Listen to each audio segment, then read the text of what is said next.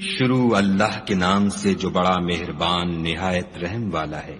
अलिफ ला मीम। इसमें कुछ शक नहीं कि इस किताब का नाजिल किया जाना तमाम जहान के परवरदिगार की तरफ़ से है। क्या ये लोग ये कहते हैं कि पैगंबर ने इसको अज खुद बना लिया है? नहीं, बल्कि वो तुम्हारे परवरदिगार की तरफ़ से बरहक है, ताकि तुम उन लोगों को हिदायत करो जिनके पास तुमसे पहले कोई हिदायत करने वाला नहीं आया ताकि ये रस्ते पर चले। खुदा ही तो है जिसने आसमानों और ज़मीन को और जो चीज़ें इन दोनों में हैं सबको छह दिन में पैदा किया। फिर अर्श पर कायम हुआ।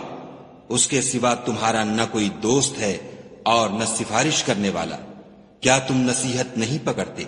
वही आसमान से ज़मीन तक के हर काम का इंतज़ाम करता है। फिर वो एक रोज जिसकी मकदार तुम्हारे शुमार के मुताबिक हज़ार बरस होगी, उसकी तरफ़ सऊद और रुजू करेगा। यही तो पोशीदा और ज़ाहिर का जानने वाला और गालिब और रहम वाला खुदा है।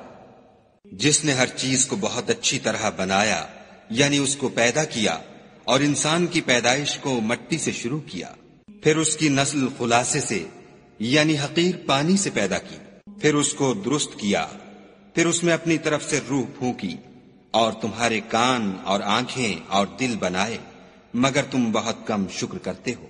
और कहने लगे कि जब हम ज़मीन में मलिया मेट हो जाएँगे तो क्या असर नौ पैदा होंगे?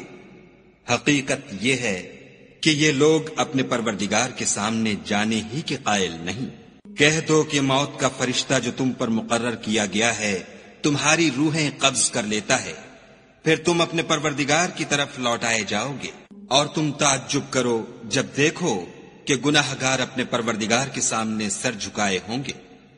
और कहेंगे कि, ऐ हमारे परवरदिगार, हमने देख लिया और सुन लिया। तो हमको दुनिया में वापस भेज दे कि नेक अमल करें। बेशक हम यकीन करने वाले हैं। और अगर हम चाहते तो हर शख्स को हिदायत दे देते। लेकिन मेरी तरफ़ से ये बात करार पा चुकी है कि मैं दोजक को जिन्नों और इंसानों सबसे भर दूँगा। सो अब आग के मज़े चखो। इसलिए कि तुमने इस दिन के आने को भुला रखा था। आज हम भी तुम्हें भुला देंगे। और जो काम तुम करते थे, उनकी सजा में हमेशा के अजाब के मज़े चखते रहो।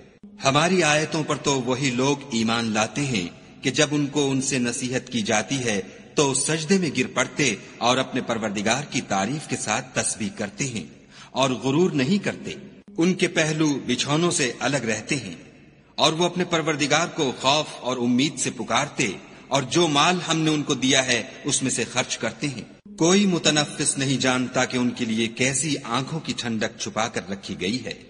ये उन अमाल का सिला है जो वो करते थे। भला जो मोमिन हो, वो उस शख्स की तरह हो सकता है जो नाफरमान हो। दोनों बराबर नहीं हो सकते। जो लोग ईमान लाए और नेक अमल करते रहे, उनके रहने के लिए बाग हैं। ये मेहमानी उन कामों की जजा है जो वो करते थे। और जिन्होंने नाफरमानी की, उनके रहने के लिए दोजक है। जब चाहेंगे कि उसमें से निकल जाएँ तो उसमें लौटा दिए जाएँगे। और उनसे कहा जाएगा कि जिस दोजक के अजाब को तुम झूठ समझते थे, उसके मज़े चखो। और हम उनको कयामत के बड़े अजाब के सिवा अजाब दुनिया का भी मज़ा चखाएँगे। शायद हमारी तरफ़ लौट आए। और उस शख्स से बढ़कर जालिम कौन, जिसको उसके परवरदिगार की आयतों से नसीहत की जाए तो वो उनसे मुँह फेर ले। हम गुनाहगारों से ज़रूर बदला लेने वाले हैं। और हमने मूसा को किताब दी तो तुम उनके मिलने से शक में न होना।